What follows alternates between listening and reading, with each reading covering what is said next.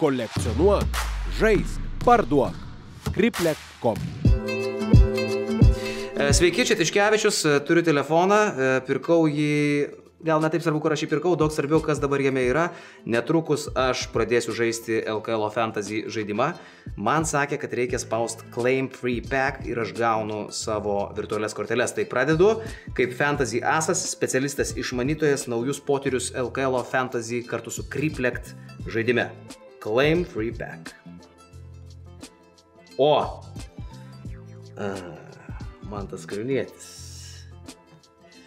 Čia startiniai paketai jie būna prastesni biškė, ne? Paskui Ne. už pinigus galiu geresnį gauti, ne? Čia visi žaidėjai. Visi žaidėjai. Čia visi- visi- Random, random. Čia taip pat tas užkadrinis pasikalbėjimas, žinai. E, Man tas kalnėtis. e, Gal tiesiog tikėsiuos geresnių laikų su antra kortelė. E, Žiūrim, ką turim, koks mano antras žaidėjas. Žygimantas Janavičius, e, nėra blogai, e, su Žygimantu turiu dabar lažybas pasidaręs, E, negaliu sakyti iš ko, nes už kadro čia stovi Aistis, bet jeigu jo pataikymas bus 34 procentai iš 3 taškų zonos, tai aš jam lieku skoloj, jeigu nebus tiek, kiek ir nebus iš tikrųjų, tai skoloj lieka jis man.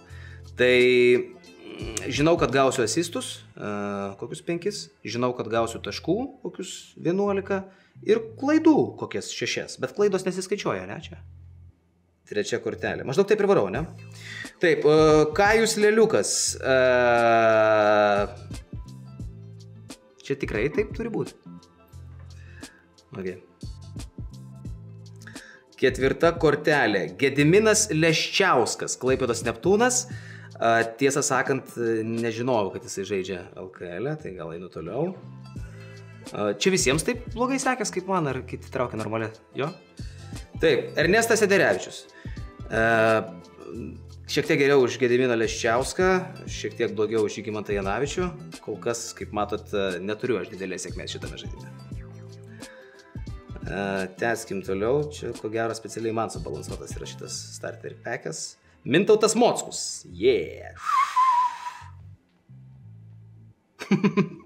Aš nežinau, ką daryti. Bet taip ir važiuoju. Taip dar nebuvo. Ok, ok, uh, reikia kažko. Nu, o! Kol kas mano lyderis Artūras Valeika.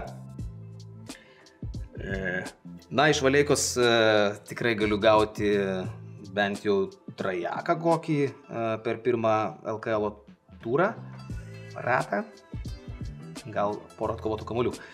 Uh, žinot, aš jau dabar matau, kad man reikės truputį paišlaidauti, bet bum, Martinas Ehodas ateina į mano komandą ir pagaliau aš turiu normalų vidurio polėją su atkovotais kamuoliais, su taškais. A, žinau, kad Ehodas man duos kol kas daugiausiai iš tų, ką aš gavau. Gal net šiek tiek daugiau už Leščiauską. E, toliau. Gytis Masiulis, Vilniaus rytas, dar vienas startinio penketuko žaidėjas. Čia visai solidu, e, trajekėlis, atkovotas kamuoliukas, taškų. Tai kol kas du tokius aiškius lyderius turiu.